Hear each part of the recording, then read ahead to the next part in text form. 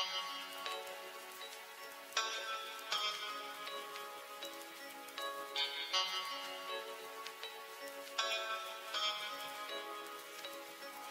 Chào các bạn đến với trường Yên Định 1 của chúng tôi. Lịch sử nơi đây trải qua 50 năm truyền thống rồi, Từ thời chống đế quốc năm 1965 Đến nay 2015 vẫn vững trái, phát triển lắm. Đã bao lần ngôi trường phải chuyện nơi đó, nơi đây. Chỉ vì quân giặc đánh phá nhưng trường ta mới phải như vậy. Nhưng thầy trò chúng ta vẫn không chịu lùi bước, Vẫn cặp sách đến trường hàng ngày như những ngày bình thường. Trước 50 năm chặng đường đã qua Tuy chưa dài so với tương lai, Nhưng người thầy, người cô vẫn cần mẫn hăng say từng ngày biết bao nhiêu nhân tài bước chân ra từ nơi đây. Hàng năm có nhiều thủ khoa mà ai cũng đã nhìn thấy. Yên định một của chúng ta tiếng tăm tích cực vang xa không chỉ ở thanh hóa còn lan rộng ra quốc gia. Xin mời tất cả các bạn đến với yên định một chúng tôi thầy giỏi cho ngoan thân thiện.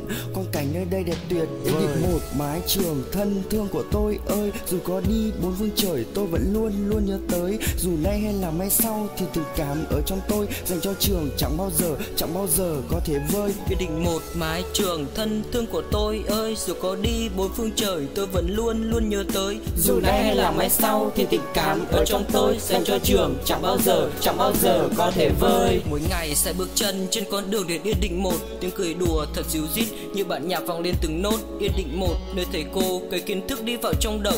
Nơi lời hay và lẽ phải viết lên tay như là đồng dấu. Dường như cánh vật nơi đây đang hòa quyện cùng với đất trời. Mở ra một bước tiên cảnh mà ai ai cũng muốn với tới yên định một nơi chập cánh, hoài bão cùng với ước mơ. Thể cô dồn hết tâm huyết sẽ chúng em sẽ có đường chắc trở. Vẫn một lời nhắc nhở mà chúng em cần phải ghi nhớ, phải cố gắng thật nhiều mới có thể thực hiện được mơ. Từng ghế đá, từng hàng cây để trong tim nhiều cảm xúc.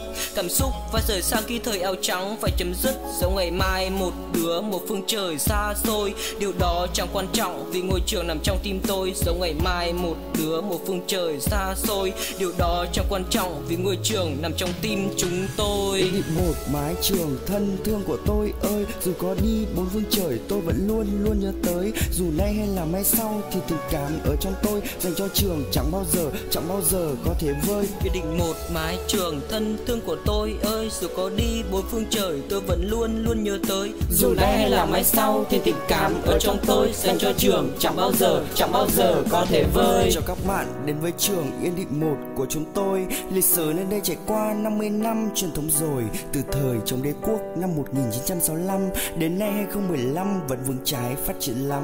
Ngoại trường của tôi đây để chúng tôi nhiều cảm xúc Cảm xúc phải rời xa khi thời áo trắng phải chấm dứt Giống ngày mai một đứa một phương trời xa xôi, Điều đó chẳng quan trọng vì ngôi trường nằm trong tim chúng tôi.